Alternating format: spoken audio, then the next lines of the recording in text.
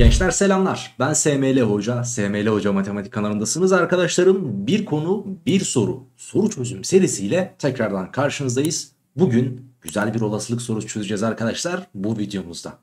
İstersen önce videoyu durdur. Eğer çözemezsen beni izlemeye devam et.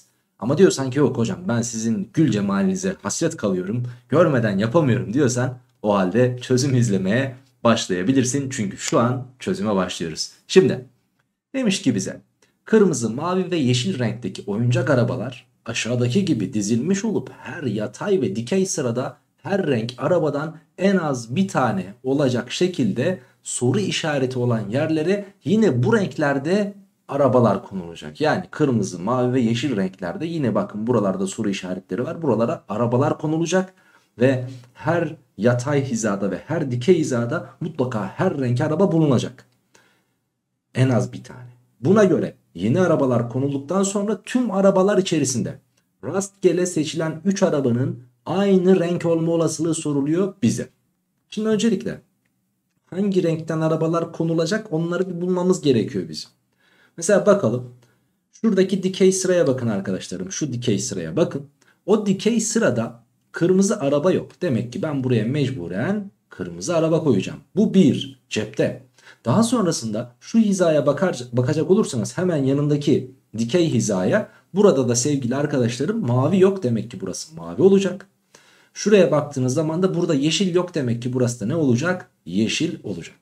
Şimdi bize sorunun kökünü hatırlatan cümleyi bir okuyalım. Bakın diyor ki e, tüm arabalar içerisinde rastgele seçilen 3 arabanın 3 tane araba seçeceğiz. Bunların aynı renk olma olasılığı soruluyor. Şimdi kaç tane kırmızı renkli araba var?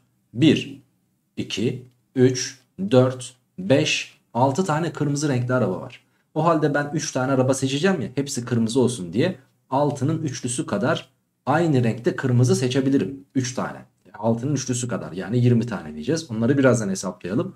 Mavileri sayalım. 1, 2, 3, 4, 5 tane mavi var. 5'in üçlüsü. Zaten toplamda 16 tane araba vardı. 6 burada 5'i burada 11 tane yaptı. Geriye kalan 5 tanesi de sevgili gençler demek ki yeşilmiş. Sayabilirsiniz. 5'in üçlüsü kadar da aynı renkte yeşil 3 tane seçebiliriz. Şimdi gelelim bu istenen durumdu. Tüm durumu hesaplamaya. Tüm durumda tabii ki 16 tane arabadan 3 tane araba seçmektir arkadaşlarım. Bunu hesaplarsak olasılığımızı da bulacağız. 6'nın üçlüsü 20, 5'in üçlüsü 10, 5'in üçlüsü 10. Yani yukarısı 40 yaptı. Alt kısımda ise 16 çarpı 15 çarpı 14 bölü 3 faktöriyel diyeceğim. O bölü 3 faktöriyeli ters çevirip yukarı çarparsanız 3 faktöriyel 6 idi. Buraya 6'yı yazalım.